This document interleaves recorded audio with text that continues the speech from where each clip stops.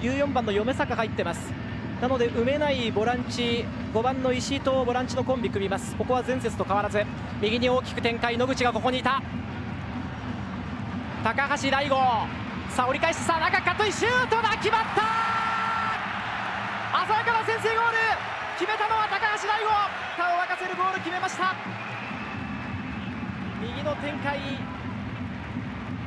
スペースにボール流してここからカットインから最後は左足うまく流し込みました。